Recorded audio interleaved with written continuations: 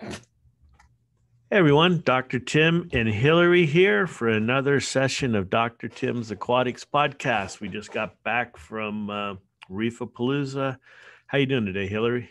I am doing good. Having a little bit of uh, Reefapalooza withdraw. it's good to be back in the show circuit. Lots saw lots of uh, people, and uh, good good turnout. People want to get out and uh, talk about fish, corals, and their tanks. So it was it was a quick but fun weekend. Yes. So this is going to be our Q&A podcast. Got a bunch of questions. I think we I think you have a bunch of questions that we got from the show, so we'll go over some of those as well. And I'll say this now and we'll say it again at the end. If you have questions, send us an email, send us a message on Facebook or on Instagram. We're happy to answer any questions that you guys might have. Yep. Yeah, I think we've got so many, it's going to have to be a two parter. Yeah, I think so. We got a lot today. Yep. Complicated ones, very complex, multi part questions. All right. Well, we'll put our heads together and see what we can come up with. Sounds good. All right. All right. So I'll let you start. All right. So, as always, we get a lot of one and only questions, and that's our first one. So, I purchased a bottle of one and only to use in cycling two tanks, but I realized once I got home that I'm supposed to add the whole bottle just in one tank. Is it okay if I split the bottle between two tanks to cycle them? Uh, sure, it's fine to split the bottle. What, why we say on the back add the whole bottle is because one and only sitting on your shelf is not doing you any good. Uh, there's not really any reason to save it. So the smallest size, the two ounce, does 30 gallons. Um, if you, but it's non-toxic. You can add it anytime, and you can't overdose. So if you're cycling a 10 or a 20 or even a five gallon tank, there's really no reason to save it. It doesn't get, unlike wine, it doesn't get better in the bottle. So shake it up and pour the whole thing in. But if you're going to do two tanks, sure, you can split it just realize you do need to shake it because it settles pretty fast. So shake, pour in one tank, and then shake again and pour it in the other, or you know save some for when you get that tank ready. But um, it's it's all a numbers game in terms of how much bacteria you you quote need. If you're especially if you're doing a fishless cycling where you're controlling the amount of ammonia. So if you add a little less bacteria, okay maybe it's going to take just a little longer to cycle or cut back on the ammonia drops you know you don't have to add four as we say four drops uh, per gallon that's for a lot of fish if you're cycling a betta tank or a small tank where you're only going to add a couple of fish it's perfectly fine to use one drop per gallon because that re- that translates into a lot of ammonia from several fish so one or two fish, one drop is fine. You don't have to, you know, stick directly to the formula. Good to know.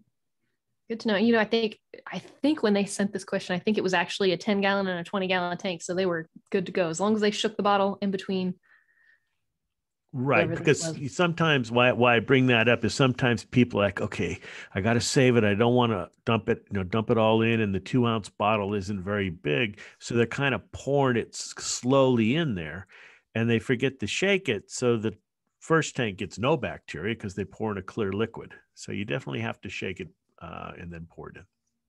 Sounds good. Okay, question number two. This is after two months of trying to cycle my tank, my ammonia is still at four. My nitrates and my nitrates are both at zero. Can you help me? Do you know what's going on?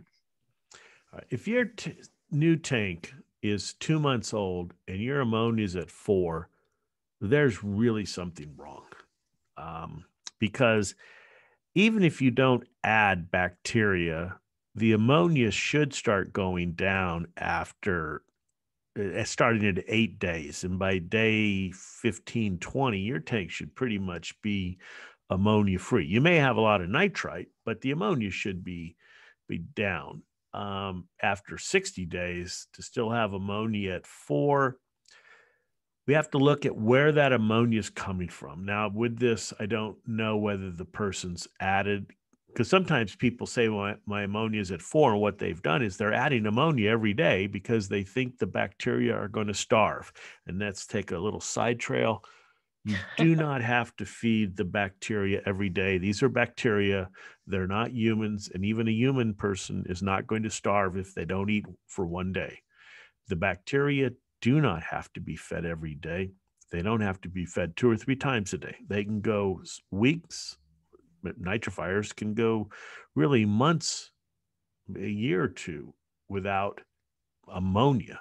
Okay, they're a biochemical factory. They're not eating. So don't feed the ammonia every day. Uh, but let, let's assume this person just added ammonia once.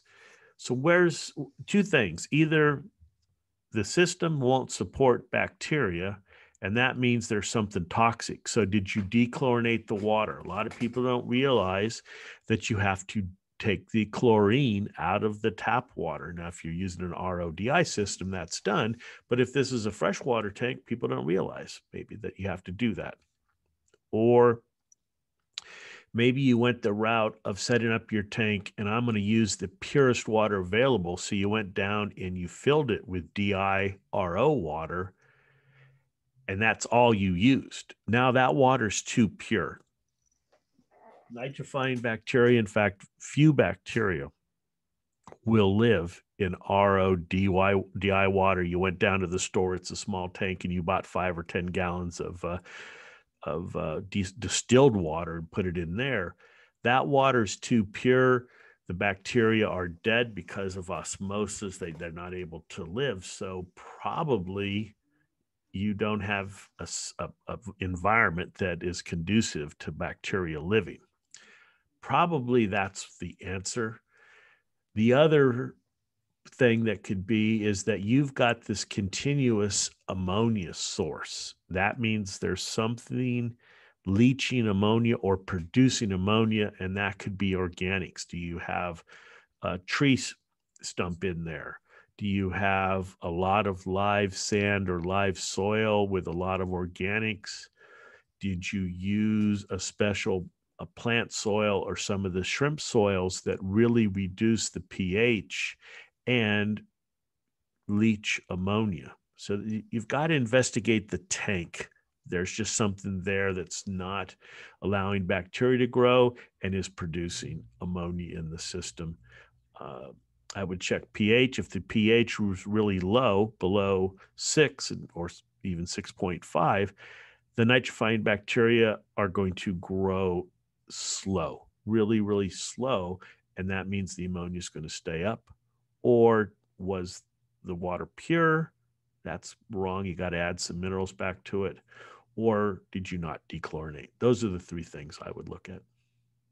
Good to know. All right. So hopefully whoever wrote us in this question, hopefully you are listening and this helps you to figure out what's going on so that you can get your tank up and running and finished with its cycle. Yes. I feel like waiting for a tank to cycle is always one of the hardest parts of the hobby. Just like having the patience to wait and do it slowly. That and doing your research before you buy anything. Those are the two. Yeah, pa- patience is is thin in the aquarium. Well, of course, you got a nice tank. It's in your living room, your bedroom, wherever. You want some corals, some fish, some animals in it. But patience, patience, patience. will pay off. Yep. All right. Next question. If you aerate biomedia, will it help to reduce phosphates? This is one of these. I'm, I'm not sure where you're going. So, aeration itself will not reduce phosphates. But aerating biomedia, meaning having a lot of oxygen in there, what's that going to do? That is going to help the bacteria grow, not only the nitrifiers, uh, but also the heterotrophs. Now, they're not breathing. This is a question I got asked, and there was a kind of a long debate at RAP. You know, how can the bacteria live in a bottle there's no oxygen. No bacteria have lungs. It just, they do not breathe like you and I.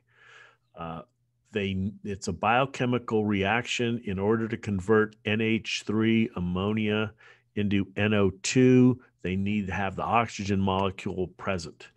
The heterotrophs, the same way. In order to convert detritus, you know, to quote dirt, and break that down, they need to have oxygen.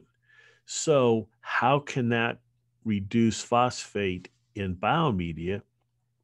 When bacteria grow and divide and produce more bacteria, they're assimilating or they're consuming phosphate out of the water.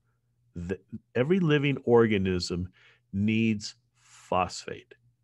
And, and nitrifying bacteria, heterotrophic bacteria, all these bacteria that are in the system, they need phosphate. And as they grow and divide and establish a larger number of bacteria, they're taking phosphate out of the water. So I think this is kind of one of those things yeah if you if you have lots of oxygen in your biomedia in the water then you're going to have a healthier biofilter even nitrifiers or heterotrophs that are take you know doing their job and so they're removing the phosphate from the water right okay next question I want to set up a five gallon tank and do a fish in cycle with your product. How much one and only do I need to add to my tank?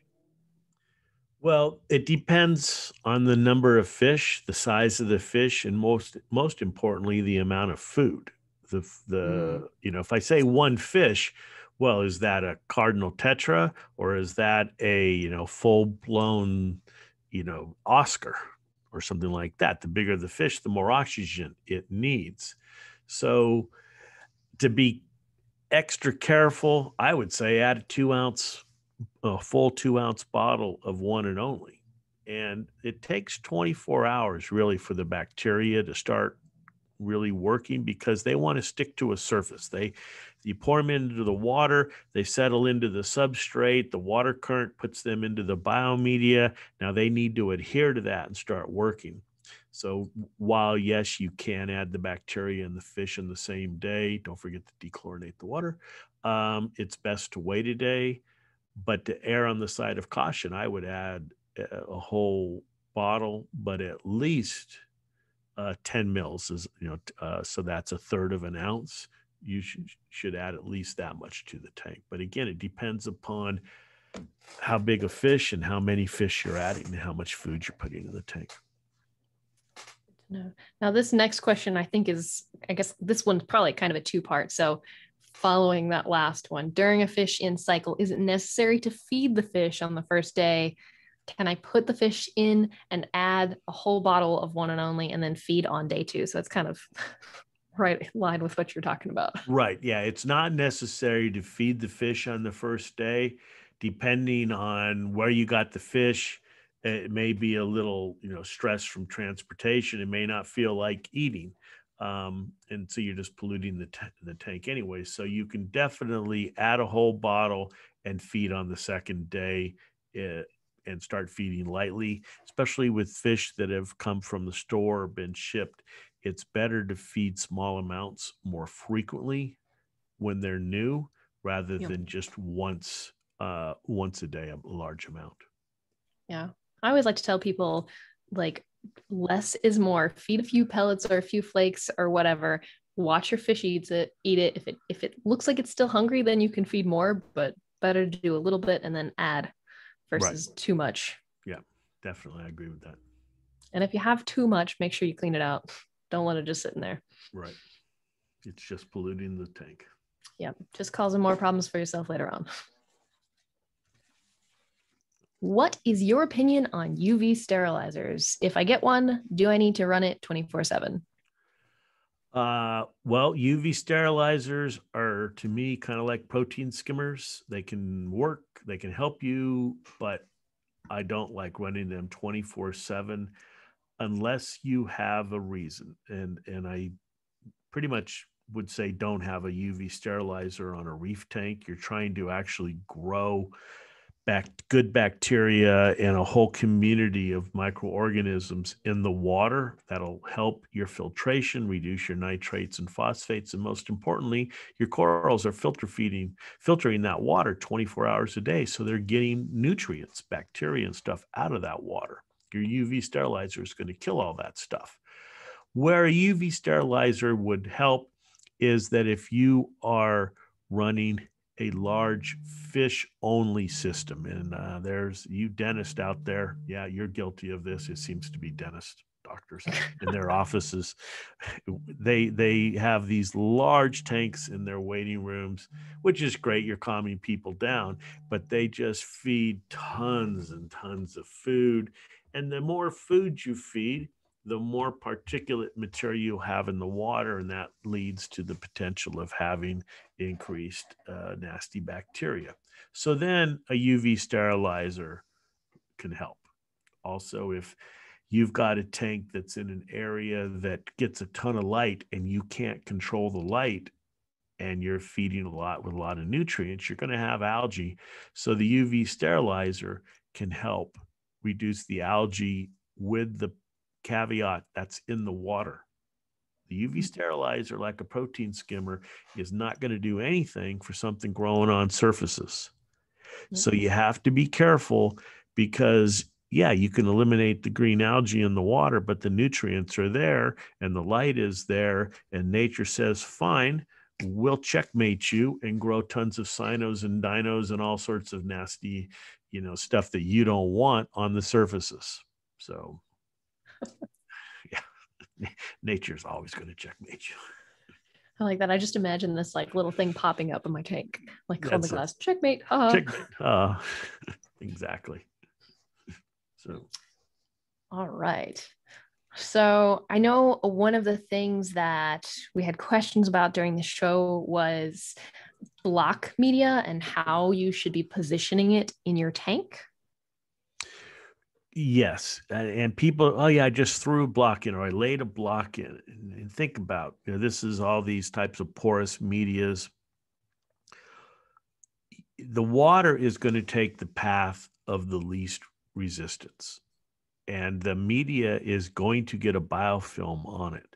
So just laying some media in the tank is probably not going to have much effect. If you're going to use the block media or the or other types of these media, what you need to do is stack it so the water has to pass through it. Now with the blocks, that's really easy. Just let's like laying bricks. You just lay them on top of each other and the water's got to go through it. If you've got the smaller media, consider some bags that are stacked up where the water has to go through the media. And hmm. also, as I talked about earlier, the nitrifiers are sticking to stuff. And what's my, you know, kind of downside of these types of medias is that they do clog. That's just that's just the factor. Okay, they do clog. If you work in a public aquarium or any place aquaculture facility, you're always backwashing and cleaning your biofilter because you don't want it to clog with with these heterotrophic bacteria. The same thing with the media. Take it out once in a while and rinse it. And and I know this is like sacrilegious you can rinse it under your laundry sink or out in the yard with chlorinated water. Yes, I said that. You can use a little bit of chlorine. I'm not saying bathe it or keep it there for hours, but a quick rinse to get the detritus and the, the the the dirt off of it and the, is going to be fine. The nitrifiers are stuck to the media.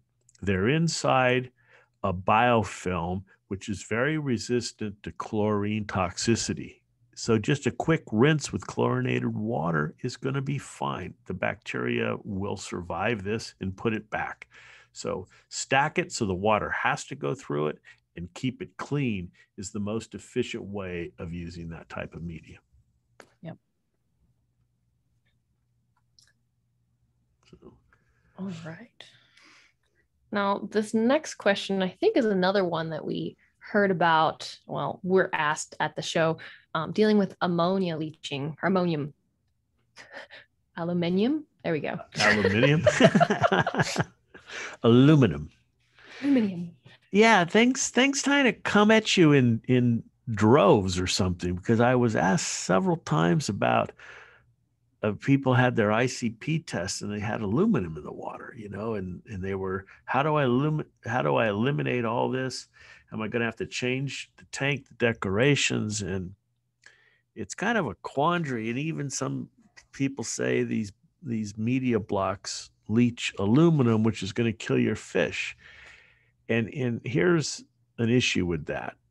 In order for a metal, you know, obviously aluminum's a metal, to be toxic, it actually has to be in the ionic form it can't be complexed or chelated. It's like copper. You know, you make copper more effective by chelating it, or less effective by binding it with something. It's the dissolved copper, the free copper. So it's the free ion that's really getting into the the fish or the coral that's killing it. And the problem with aluminum is your pH has to be lower than four, more like two, or up about 12 to have any free aluminum in the water.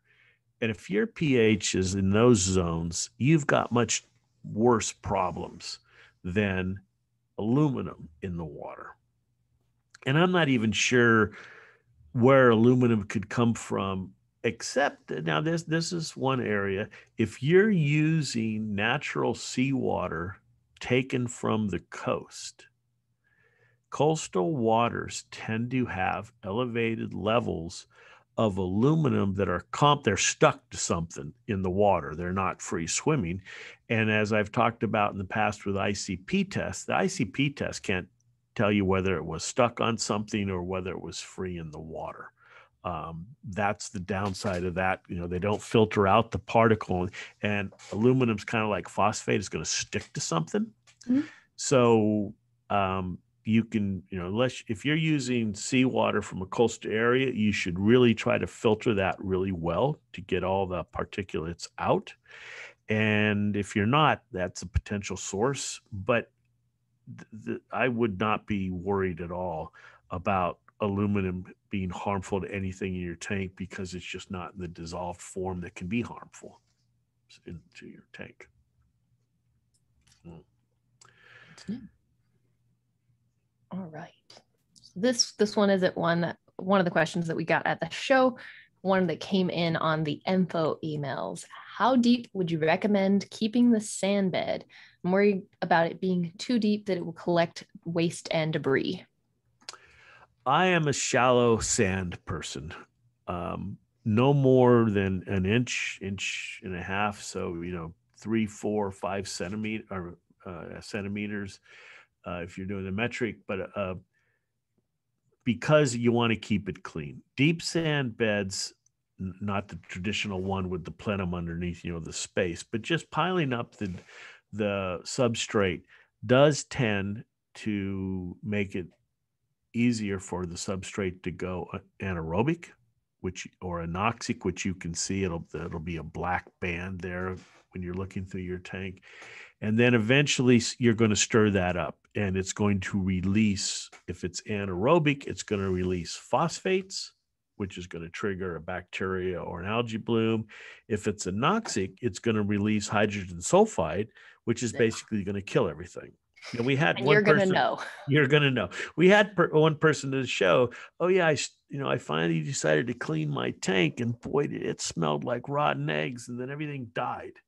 And the problem being that hydrogen sulfide, you know, that stinky rotten egg smell, is highly so, uh, soluble. And you, your tank can have 100% oxygen saturation, and your animals are still going to die because they, they basically suffocate with the large amount of hydrogen sulfide. Even nitrifying bacteria, there's not much that will kill a nitrifying bacteria without breaking its cell open.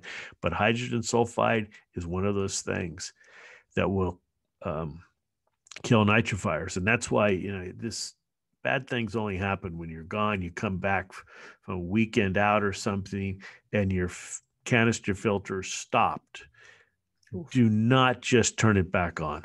Immediately disconnect it from the system and rinse it out because it does not take long for the system to go anoxic. What's happening is the same bacteria that we talked about earlier that are breaking down the organics. Well, they do that when there's oxygen present. But as the oxygen drops and it goes from high oxygen to low oxygen. That's at the anaerobic zone. They start converting nitrate to dinitrogen. They're doing denitrification, the exact same bacteria. It's not a new species or anything like that. Well, once the nitrate disappears, or once they use all the oxygen in the canister system and it goes anoxic, the bacteria don't stop. They go, Well, I still want to divide, and there's lots of sulfate in this water. I'm going to use the sulfate and I'm going to produce hydrogen sulfide. And this, depending on the organic levels in the system, can happen quite rapidly within a couple of days, definitely. And they start taking that sulfate and producing hydrogen sulfide gas and then you come in, jiggle the canister filter, and it all of a sudden starts, and you put all that hydrogen sulfide in your tank, and then disaster. So, and that can happen. Getting back to the sand bed, that can that's what happens in the sand bed where it's deeper. Then it's more prone to starting to go anaerobic, and that will bind phosphate. You get in there and stir it all up and oxygenate it all that phosphates released into the water. Phosphates, you know, a, uh, a compound that bacteria and algae want. Now they've basically been dosed with a high level of phosphate. They start growing like crazy. Or deeper in the sand bed, the back there's a stratification, nitrifiers at the top, taking out some oxygen, heterotrophs in the middle layers, removing more oxygen as they reduce the organics, and then it goes anoxic down below and those bacteria kind of sit there you know they don't have there's not any water flowing through it but they're they're doing their thing and you can get these pockets of hydrogen sulfide. And you release that you stir it up and release it all into the tank and your tank wipes out. So and you're going to know real quickly if you've done that. Yeah. And actually there's an interesting story if i can digress again. Of course. Uh, I love it, your story. so there is this region in Africa where over millennia, you know, there's been this wipeout. These villages have just been, for no apparent reason, just everyone or a large population of the village just dies suddenly. And what they traced it to was these villages were near these very deep lakes and what would happen over time is the organics would go down into, you know, fall down or settle down into the lakes and they would start generating hydrogen sulfide. But because the lake was stratified, this hydrogen sulfide bubble would would just stay down there and build and build. But then at some point, the bubble would would burst and it would come up to the surface. Hydrogen sulfide being more denser than air would stay along the surface and it was suffocating everybody. Oh my gosh. This is this is not uh, this I'm not making this up. And so the solution was that they basically put a big giant straw in the lake. yeah, yeah, I'm not kidding. And so they had this pipe that would go down and it would basically off gas. Once the bubble started getting so big, it would hit the you know the straw and it and it would come up to the surface in a more controllable controllable manner rather than releasing these big you know bubbles of hydrogen sulfide that would kill everyone that was living around the lake. Oh wow. Now you all right uh, i'm gonna have to go look that up and sounds like maybe i might do a post on that. Okay. But yeah it's pretty interesting.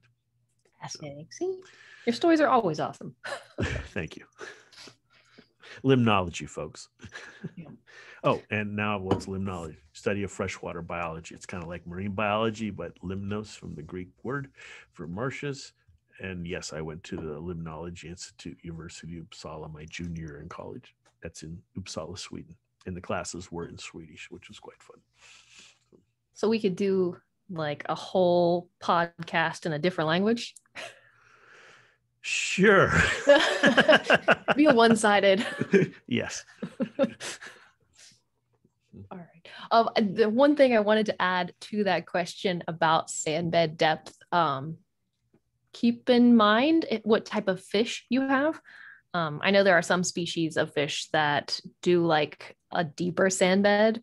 So if you have some of those fish, maybe you would want it a little bit deeper, but make sure you've got a sand sifting cleanup crew that can help move some of that stuff around and help to reduce any accumulation of debris. Yeah, that's good. That that's a good point. Yes, depending on the fish you're keeping, you may want it a little deeper, but like you said, get some sand sifters in there.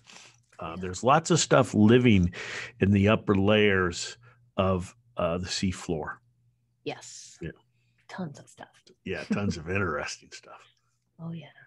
I really love to sidetrack.